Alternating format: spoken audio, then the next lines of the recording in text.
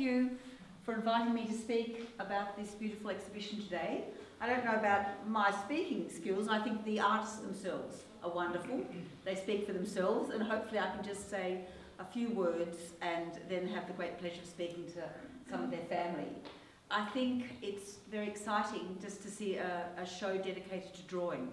It's one of the most marvellous expressive mediums that uh, humanity has created. And it's at the point in which we see the artist really, um, all that uh, imagination or engagement with the world, that point on that page is that moment where it first comes to sort of this exciting um, uh, formation. And then the drawings can be used for different ways. And I think many of these drawings are in fact um, really like a, a, rigorous form of self-training um, and um, sort of regular artistic exercise and also they're setting themselves problems to solve. So they're very exploratory and engaging just with that sense of the combination of the mental and the, the sort of the dexterity of the hand. At the same time, we see certain interests of the artist emerge. You have always that remarkable piercing eye of Nora Heysen. You see it in that self-portrait and her interest in faces and people. I think on the other hand, Constance Stokes always this extreme um, engagement with the idea of a, a, sort of a wider decorative plane.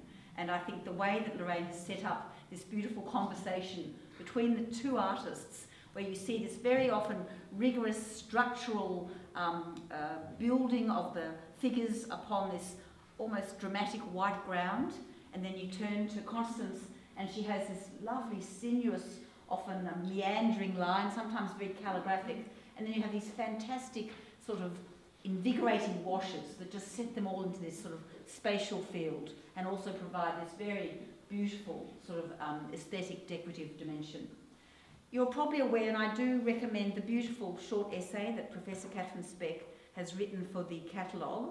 Some of you will know um, Catherine Speck's written a lot about women artists and war artists, and she also published the letters between Hans Heysen and his daughter Nora. So she knows them very well, and I think she speaks very beautifully about the ambition of these artists. Both Constance Stokes and Nora Heysen go to Europe. They go initially to London. Constance Stokes wins the travelling exhibition, this great final year um, prize that the best students can secure, and it takes them over to London, and often they would then travel to France if they wished, and that's what happened in Constance's case.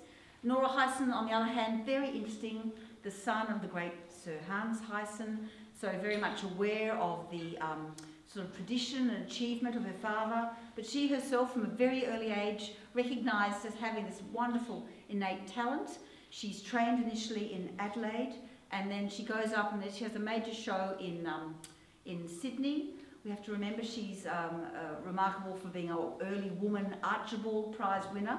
And on the success of her exhibition in London, her family are actually going over, her father, mother and, and um, some of her siblings, going over to London, but with those funds she's achieved from her exhibition in Sydney, she sets herself up to do further study in London. So we have this very dedicated, recognised for their innate talent, early training in Adelaide and Melbourne, and I think it's great to be reminded, often we think of Sydney moderns, we think of Cossington Smith, but we've got to remember there's great female modernists here in Melbourne and Adelaide. In um, London, it's very interesting to see we have Constance Stokes initially at the Royal Academy, working on a very interesting artist called William Monnington, who is a great decorative, does wonderful murals and these wonderful big, big um, bold, rather flattened canvases. But she decides to take herself to France, where she works with André Lhote, one of those great Cubist teachers. Many Australians worked with Lhote, and you see that inheritance, that sort of, I think that's like that Paris school element that she brings back to Australia. Nora Heysen, on the other hand, very interesting. Kathy refers to her going to work in the London Central School of Art under Bernard Meninsky. We've got some beautiful works by Meninsky in the National Gallery of Victoria. He was a major teaching modernist figure of the day. And there's this rather poignant um, series of letters that Nora writes back to her father saying that her teacher had seen her early drawings. And you've got to remember she's had great success in Australia. She's seen as this rising talent. Bernard Meninsky tells her her drawings were lifeless, dull, formless and superficial, and she had to convert to his technique. And his technique was a very strong, bold line, and then um, some sort of hatching around it. She'd had this very fine line and beautiful shading. So two different traditions. And you see her feeling quite crushed by this, and then sort of deciding that she would be her own, her own person, follow her own line. She experiments with his tradition and then returns. And I think you see what's so beautiful about these works coming out of the um, family archives is we have them over a range of decades. And you can see certain, you know, continuities in their way of working with the line, working with that wonderful, I always think with Heysen you get that lovely role of like a silhouette. If you think of her paintings, some of those great portraits with this sort of clear head and then this wonderful sort of luminous sky behind. And I think a similar thing happens with her drawings, this very beautifully structured figure and then the really um, expressive use of the page behind. But I must say also, Constance Stokes, very beautiful artist, much admired in her own day. She is included in major exhibitions of Australian artists that travel to um, London, 12 Australian artists, uh, one of two Victorian artists who go. In London, her work is praised very highly, Kenneth Clark. Back here in Australia, the first Herald um, Chair of Fine Arts at Melbourne, uh, Professor Joseph Burke. I always remember going to his room when I was a student. He had a Constance Stokes on his wall from the university collection. And he again was very admiring of her work and really um, uh, praised her. So I think both of them are remarkable figures. They're two artists who had the highest ambitions in their day of going overseas, getting all the best training, and then really um, seeking an international standard of practice. Back here in Australia, they both maintain their careers. They marry, Constance Stokes has children, and they try to maintain their practice, always a, a difficult thing, are um, regarded, perhaps not the best known of artists, but are part of this revision of women Australian artists that's been going on for the last, say, 10, 20 years, in which just recently Lucilla's brought out a beautiful book on her mother, so people can actually see this remarkable artist's work. And Nora Heysen both to do with her wonderful war work. She was a very early women war artist. And then just in her own right, her remarkable portraits and other work has received some touring exhibitions. So I think a very exciting exhibition on a number of levels. One, just to see works coming out of an artist's archive. These are works they have chosen to retain. They're often student works, or then they're works in which they are clearly comparing their practice. They're an ongoing sort of dialogue they have with their own study and interests. And then um, we often find these are more exploratory works. I think the importance of artists' archives are being recognised more and more. We recently had the, National, the Art Gallery of New South Wales declare itself the National Art Archive, and they've now got the archives of um, Margaret Preston, Max Dupain, Margaret Olley, Roy de Maistre. They're really trying to acquire these remarkable repositories of artists' works, sketchbooks and studies because they tell us so much about how the artists actually created and the things that really drove them forward and the things that they returned to again and again throughout their life. So with those opening words, I thought I might um, turn to uh, Stephanie and Lucilla. We have the niece of Nora Heysen and we have the daughter of Connie Stokes. And I wondered if you'd like to perhaps, Lucilla, starting with you, talk a little bit about bringing your mother's archive together, producing a book about her career, and what are the sort of messages about her you've tried to convey to the public? Right, well, it all started when my brother died in 2013. And when I went to clear out the house, I found to my surprise cupboards full of letters, documents, drawings, sketchbooks. Her whole life was there in the cupboards. And I thought this I've got to do something with this because this wonderful artist has been ignored for too long. And um, so I got it all together and sat down to produce a book, managed to find the, a lot of um, images, which was not easy. Um, and during the course of this, I discovered that my mother had been leading two lives. All the time she'd been having a double life. As a child growing up with an artist, you think that's just my mother. And just like everyone else. And all that time, she had letters from galleries asking for works to be exhibited. She had letters of praise, she had newspaper clippings, hundreds of beautiful newspaper clippings of um, reviews of her works. And so I managed to try and get it all together as best as I could to try and reinstate her, put her back where she really belongs in this world, this art world. Um, and Doing so a great job, I have to say. Doing a terrific job. Beautiful. Beautiful It's, uh, book. It's been a challenge. Yeah, big change. I was going to say, Stephanie, I noticed they had on the some of the online um, biographies of about your art, there was one which said after she won the Archibald Prize, the Australian Woman's Weekly published an article saying, artist who wins prize can also cook, and had a series of her, of her recipes. Wondered, do you feel, with a very distinguished father and the battle that women artists had, your memories of your aunt, do you feel she did struggle to you know, really convey the professional dedication of her practice? Yes, well, uh, unfortunately, of course, I was very young when she, um, when, um, so I didn't have a lot of knowledge or interaction with my aunt, but I know she always felt she was under Grandad's, uh, her father's um, shadow. shadow, always. Um, and um, she felt, of course, after coming back from England, that she needed to strike out on her own, and so, of course, moved to Sydney. Mm. I sadly didn't see a huge amount of her because I, you know, well, I, I was living in Melbourne always, and married with children. I used to go up and visit every time. If I went to Sydney, I used to go and see my aunt. She lived in this amazing old shingle home in Hunters Hill with a, a, a refrigerator that I think had one of those kerosene mm-hmm. thingies, little pull-out things, and the stove was something out of 1930s. Incredible. She out on a galley, and she she would live there, and there wasn't any space anywhere. It was all wa- uh, pictures or paintings just propped up against all the walls.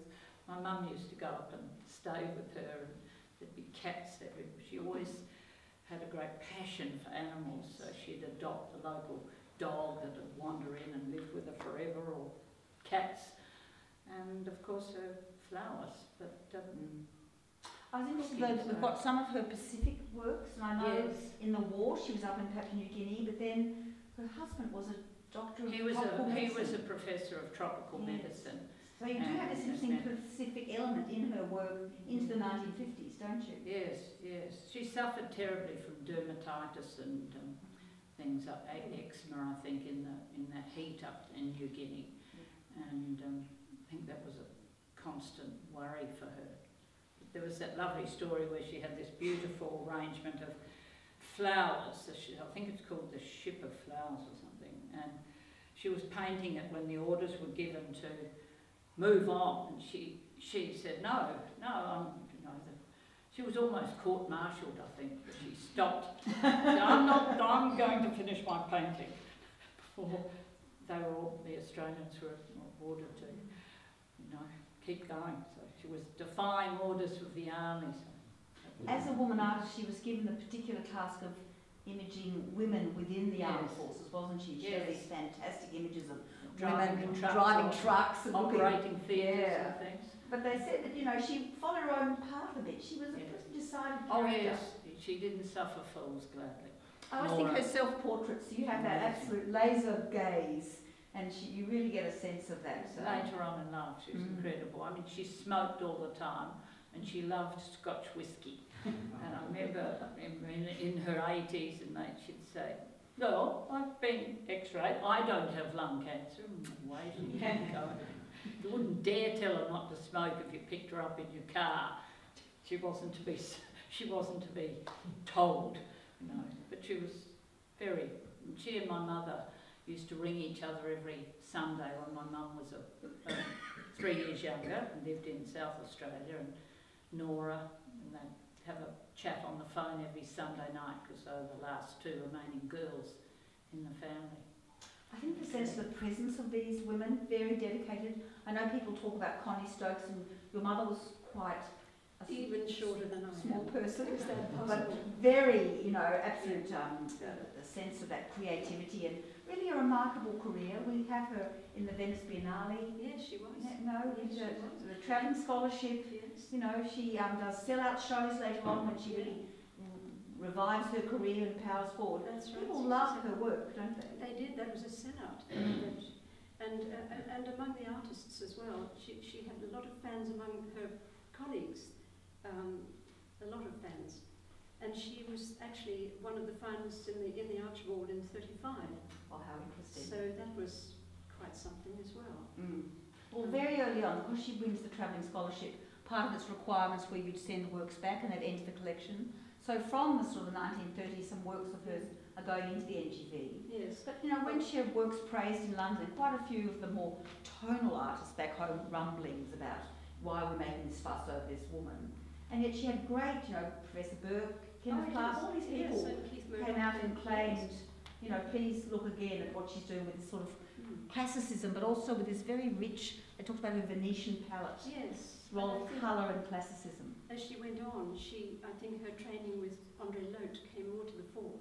because she became more and more obsessed and interested in colour and the science of colour and how colours work one against the other and how to show form through colour.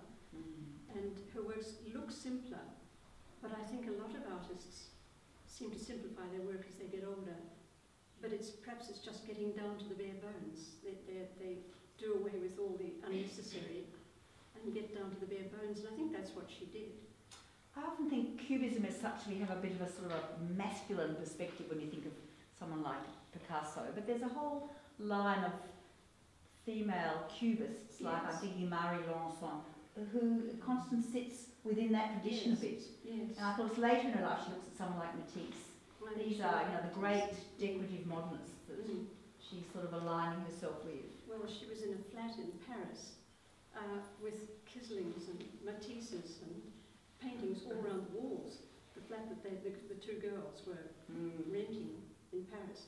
So she was there right at the, at the peak of the most exciting time in art, I think, really. I think we forget the constraints, even though it's sort of they're travelling. I mean, um, I think Constance was born in 1906 Yeah. and uh, was born in 1911. In the 1930s, we think of this as a time when, yes, women artists are doing lots of things, but you were mentioning before, she travelled, Constance travelled with a um, chaperone when she went over to London, and of course Nora's going with her family. It Mm. still was a big deal to get out on your own and be Oh, a yes. professional artist. Yes, it was. Was there anything else you wanted to perhaps mention to the people here today about the works on the walls? Um, yes, actually, you'll notice that a, lot of these drawings have a wash over them or pastel over the, over the top of the drawing. And I know that she, as she got, she had a terrible back problem from standing in front of the easel all her life. She had a compressed spine and it caused her a lot of pain. She spent a lot of time sitting in her chair going through her drawings and picking poses that she particularly loved and going over them with pastel and turning them into works of art turning them from just working drawings into works of art. Mm. So, Very interesting. yes, so she used either pastel or watercolour, or you can see she's put washes on, and this one was, she's used the oil pastel with that. Well, I often think that just that sort of very calligraphic, almost inked line with a wash reminds me of someone like Rodin's drawings, and it's always that sense of almost figures turning in space. yes. I thought that very early drawing, just on that corner below, which is a 1930s work, where you can see the pen line and the cross hatching, she shifts from that much more sort of formal um, yes, construction a lot of cross to this wonderful sort of floating, decorative, uh, Yes. spatial type of presentation. Her, her passion was drawing. She just felt that she spent her whole life perfecting drawing and being able to create a form just with one line. She didn't do multiple lines. She would do one line, she'd get the whole form and the solidity of the figure in that one line, which was quite spectacular, really. And in some ways, I always feel it's almost like this universal feminine form, often reclining in Constance Stokes. But when you look at Nora Heysen, all those heads of those models are real people. Yes. You know, she never really generalises. They're very much the particular individual. Mm. And these wonderful little images of children and babies and people from the Pacific, that extraordinary um, fascination with individual humanity which comes through in these. They are, they're a beautiful dialogue, this exhibition, and I think we are very privileged to see it. So thank you very much.